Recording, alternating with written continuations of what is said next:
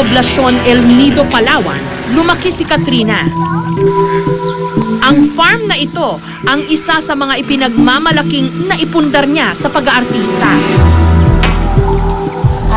Nagbigay sa amin ng panayam ang kanyang tito at panganay na kapatid na lalaki. Kahit ikaw pa yung pinakamasamang tao sa mundo, hindi pa rin namin pwedeng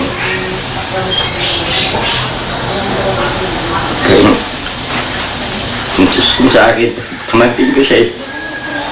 Tol, kung ano man pinagdadaan ng problema ngayon, andito lang kami pamilya mo para sa'yo. Ah, mahal ka namin, alam mo naman yun.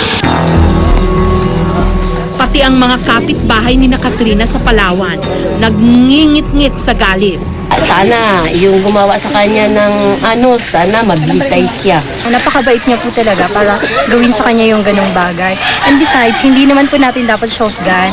Dahil ang pagkakamali niya lang po ay yung nagmahal siya at nagtiwala siya sa lalaking hindi karapat-dapat.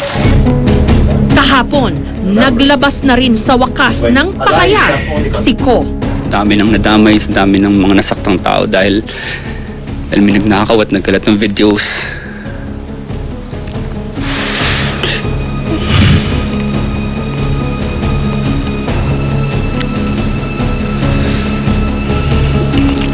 Right now, I only feel deep remorse. Hindi lang dito sa Pilipinas may iskandalo sa mga sex video. Sa Hollywood, ang mga sexy actress, pati na ang mga malalaking artista, na biktima na rin nito.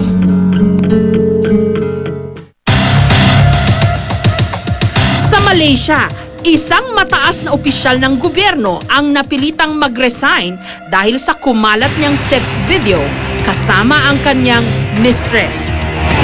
Sa Hong Kong, ang superstar na si Edison Chen nasangkot din sa ganitong klase ng gulo.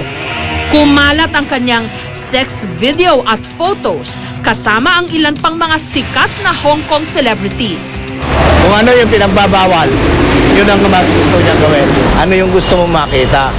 Ibang thrill na naman uli yun. So pag damain mo yun, kung ano yung nakuha mo, aangat ka. Mas tataas yung kaligayahan mo, ika nga. Sa panahon ngayon, napakadali ng kumalat ang mga sex video. Hindi lang sa pamamagitan ng mga DVD o CD, kundi pati na sa cellphone. Kaya't ayon sa talent manager na si Lolit Solis, dapat mas lalong mag-ingat ngayon ang mga kabataan at ang mga artista. Napayuhan niyo ba yung mga alaga niyo, Nay? Na mag-ingat. mag-ingat siguro sila sa tam, sa sa pagkikipagrelasyon. Di ba? Gaya, yun, yun nga. Ang kasalanan ni Katrina, siguro pumasok siya sa buhay ni Hayden na meron ng doktora, Vicky Bello. Siguro naman kung in love ka talaga kay Hayden, like, like Katrina, siguro dapat medyo nagdududa ka ng ano ba itong ginagawa namin dalawang to? Ganito, ba't kailangan wala kaming kumot. Ba't kailangan magsayo-sayo kami ng ganito sa... Di ba? Oh, uh, like sabi nga nila, nagre-rehearse sila doon para doon sa celebrity duet. Nagre-rehearsal ka, nasa, naka-underwear. Di ba? Dapat inisip yung, inisip mo, ba't kayo nagre-rehearsal na? Kasi sabi ni Katrina, ang alam daw niya kinukunan noon, yung nagre-rehearsal sila. Ba't hindi man lang niya naisip na nagre-rehearsal tayong dalawa, naka-underwear ka, naka-underwear ako. Eh doon naman sa celebrity duet, siguro naka-gown tayong dalawa. Di ba? Lalo pat matagal ng problema ang mga sex video sa showbiz. Bakit before hanggang ngayon may isyong ganito? Kayabangan. Di ba yung usually yung mga lalaking kumukuha niya, pinagayabang niya yung tsak sa sa, sa mga kapwa niya lalaki o ano. Pero di, at this time, na lumalabas yan, pagkakakitaan mo na siguro. Eh di ba 200 na per tape yung kay Katrina? May payo rin si Nanay Lolit kay Katrina. May nakikita ka pa rin kinabukasan. Kay Katrina? Katrina. Oo. Bata pa siya, maganda. Mas, mas madali for Katrina na makabelo, maka ano uli, makabalik uli sa taas. Kasi, ano siya eh, yung tawag dito, hindi siya ano, hindi yan ang trabaho niya. Hindi naman niya talagang ginagawa lagi. Hindi naman siguro as if may limang video na si Katrina at iba't ibang lalaki. No. Di ba?